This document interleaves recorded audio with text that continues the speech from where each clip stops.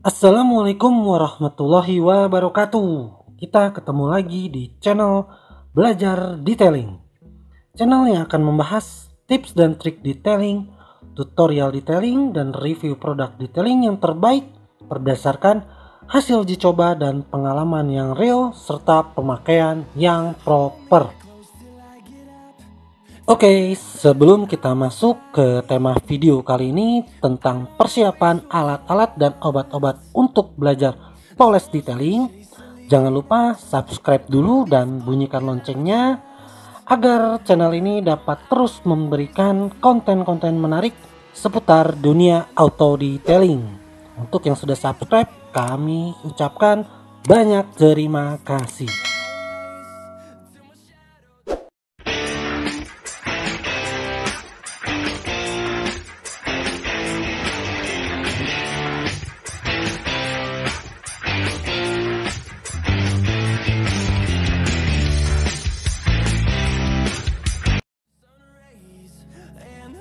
Untuk mempelajari cara belajar detailing sendiri di rumah, tentu saja kita memerlukan dan mempersiapkan segala alat-alat dan obat-obat yang tepat.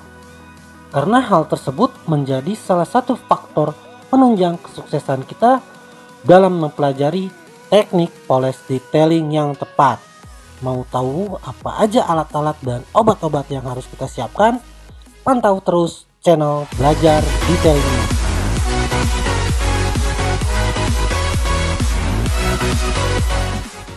Peralatan dan obat-obat detailing yang ada di Indonesia ini cukup beragam. Agar tidak salah mempersiapkannya dan agar tidak mubazir, kami akan membantu kawan-kawan lewat video ini untuk mempersiapkan segala macam hal yang akan menunjang belajar poles detailing kawan-kawan. Oke, simak sampai selesai videonya. Here we go. Mesin poles dalam dunia auto detailing, ada dua jenis mesin poles yang pada umumnya dipakai oleh para detailer di dunia. Mesin poles yang pertama adalah mesin poles rotary. Mesin poles rotary adalah mesin poles konvensional yang memiliki tenaga sangat powerful. Karena tenaganya yang powerful, jadi cukup sulit untuk digunakan. Biasanya yang menggunakan mesin poles rotary adalah para profesional. Mesin poles yang kedua adalah mesin poles random orbital dual action. Mesin poles dual action adalah mesin poles era modern yang merupakan inovasi pengembangan dari teknologi mesin poles rotary yang konvensional. Mesin poles dual action pemakaiannya jauh lebih mudah dibanding mesin poles rotary dan juga lebih aman. Tapi, jika tidak didampingi dengan teknik yang tepat, maka hasil poles pun akan sulit untuk mencapai hasil yang maksimal. Untuk rekomendasi dari kami, jika kawan-kawan ingin lebih mendalami atau lebih mempelajari jauh mengenai teknik poles detailing yang tepat, kami menyarankan kawan-kawan mempersiapkan kedua mesin tersebut. Jadi, kawan-kawan harus mempersiapkan mesin poles rotary dan mesin dual action. Namun jika hanya sekedar untuk hobi di rumah, moles-moles mobil atau motor biar kinclong aja, kayaknya cukup aja sih pakai mesin poles dual action. Jadi lebih mudah dipakai dan lebih aman untuk end user.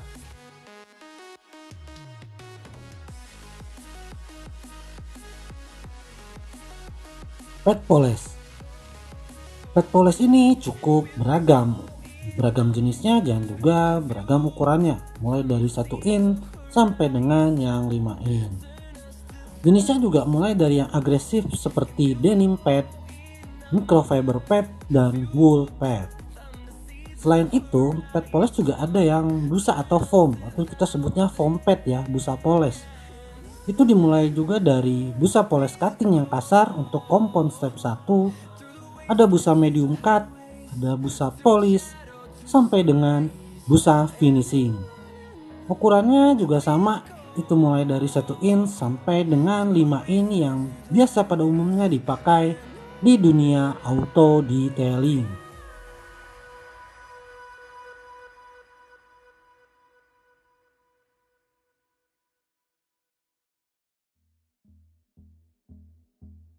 Untuk rekomendasi dari kami, baiknya kawan-kawan mempersiapkan ukuran-ukuran pet poles dan busa poles mulai dari yang 1 in sampai dengan yang 5 in. Nah, agar agar nih, agar pas tahap pembelajaran bisa lebih dalam lagi, siapkan mulai dari wool pad, cutting pad, medium cut pad, dan finishing pad.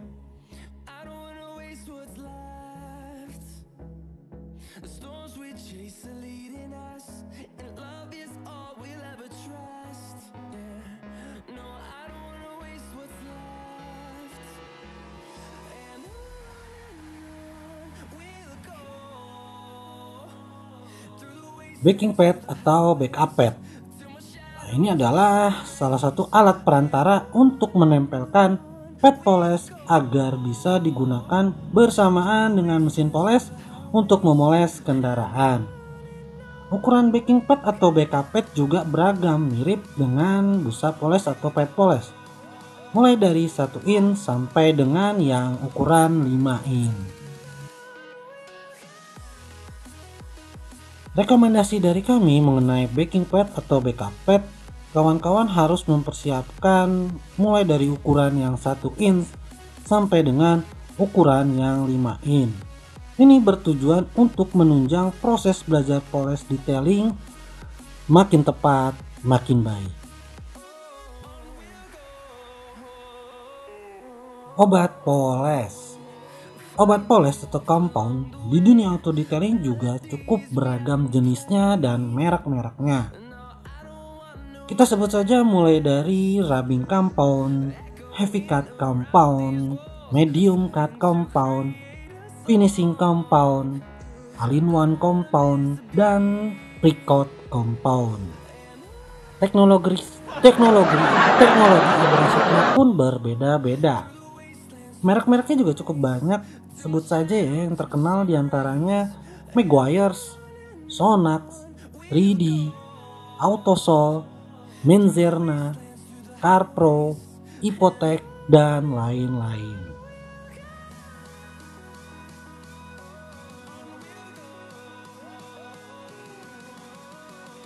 Untuk rekomendasi kami mengenai obat poles ini, agar menunjang belajar poles di telinga kawan-kawan, Kawan-kawan bisa mempersiapkan mulai dari rubbing atau heavy cut compound, medium cut compound, all-in-one compound, dan finishing compound.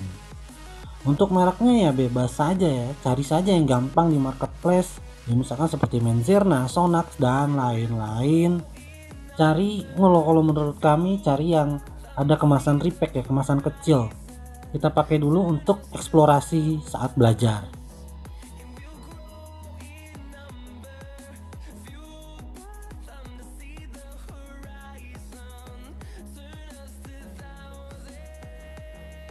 lampu detailing atau correction lamp.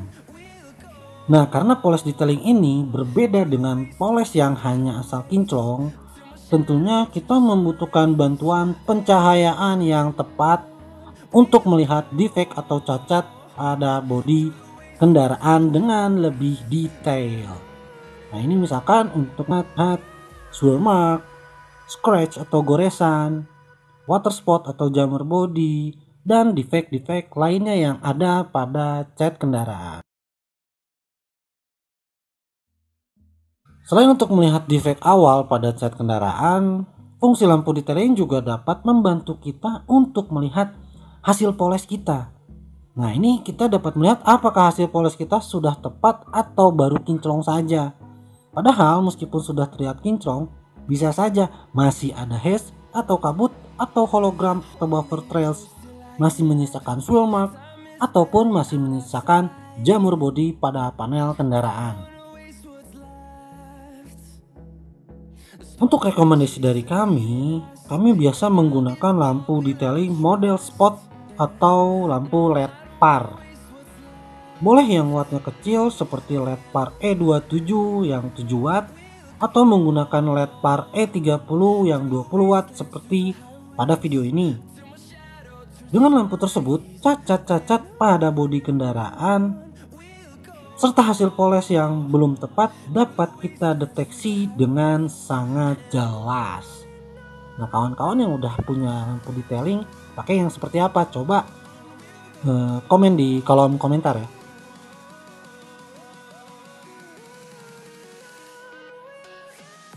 IPA, eraser atau panel wipe.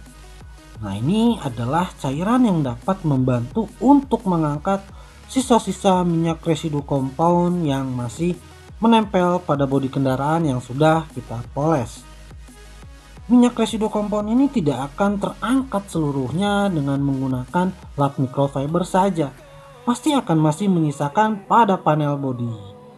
Terkadang nih, menutupi cacat-cacat seperti menutupi hologram, menutupi hash, menutupi buffer mark.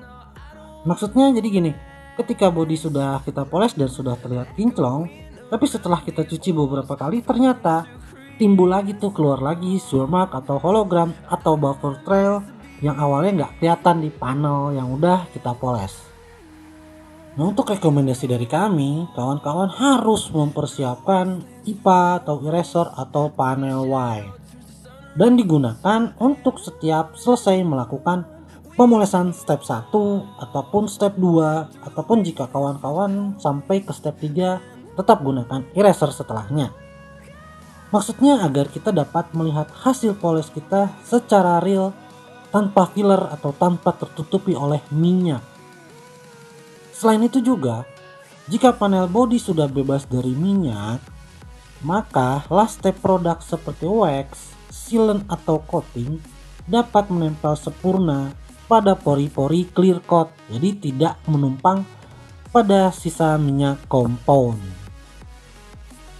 Gimana nih? Nah, kalau IPA kita udah pernah bahas tuh di video yang di sini kita bisa bikin sendiri atau beli dengan merek-merek seperti Carpro, nano ceramic atau yang lainnya. Coba yang punya pengalaman dengan IPA bisa komen di bawah. Lap microfiber. Nah ini nih, ini kadang suka disepelein nih lap microfiber. Padahal lap microfiber ini alat-alat yang sangat membantu kita saat mengelap sisa-sisa minyak compound, mengelap cairan IPA ataupun mengelap wax, sealant ataupun residu coating dan lain-lain. Lap microfiber ini mempunyai teknologi terbuat dari serat fiber yang halus yang dapat mengangkat sisa minyak dan debu dengan tidak menggores permukaan. Jenis lap microfiber cukup beragam. Ada yang modelnya bulunya pendek-pendek, ada yang bulunya panjang-panjang, ada yang tebal, ada yang tipis, ada yang tanpa jahitan pinggirnya, dan ada yang terdapat jahitan pinggirnya kualitas microfiber juga berbeda-beda. Kalau zaman dulu sih ya, yang paling terkenal di kita-kita itu Cobra Microfiber atau keluaran dari The Rec Company. Itu memang harganya lumayan, tapi kualitasnya oke okay banget deh.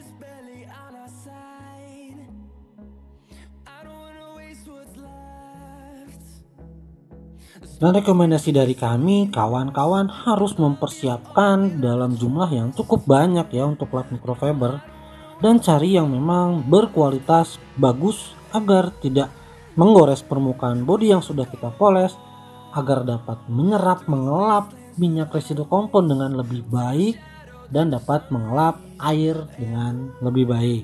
Yang mereknya boleh cari yang Cobra Junior mungkin yang ada sekarang ya atau keluaran Meguiar's atau yang dari Rec Company. Kalau nggak salah ada tuh di salah satu marketplace Indonesia deh.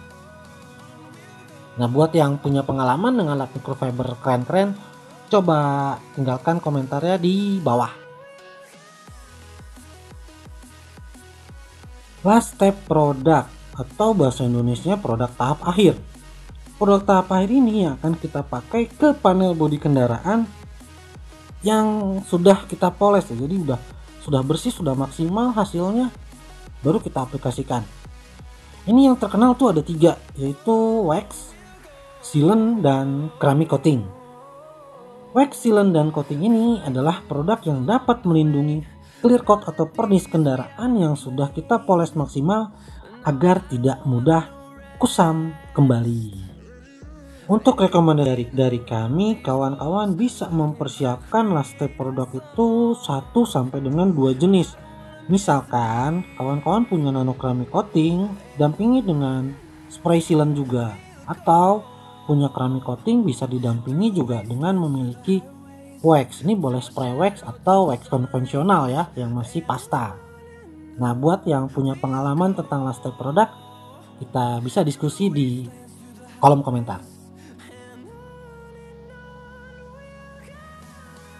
Mentor atau guru nah ini juga cukup vital ya mentor atau guru karena akan membimbing kalian memberikan teknik ataupun memberikan pengetahuan-pengetahuan seputar auto detailing yang tepat Nah untuk bagi kawan-kawan yang ingin belajar teknik poles detailing lebih dalam lagi, lebih serius lagi, Belajar Detailing Academy membuka pendaftaran kursus detailing angkatan ke-18. Kalian akan dibimbing dengan teknik poles yang maksimal, diberikan pengetahuan produk-produk detailing terbaik, sampai dengan bagaimana cara memulai dan mengembangkan bisnis auto detailing. Berminat? Kalau berminat, cek cara daftarnya di kolom deskripsi.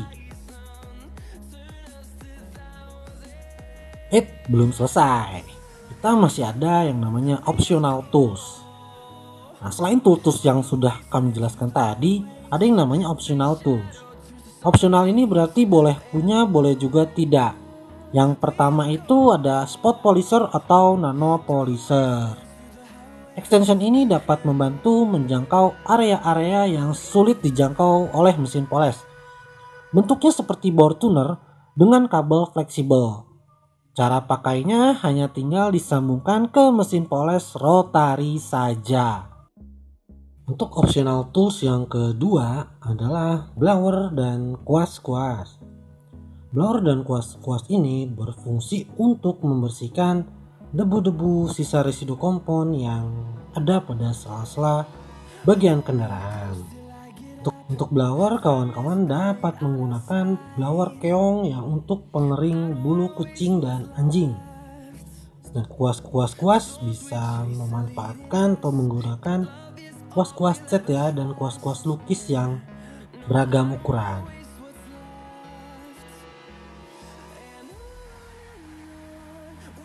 Dan itulah peralatan dan obat-obatan auto detailing yang sangat dibutuhkan untuk menunjang proses belajar poles detailing kawan-kawan.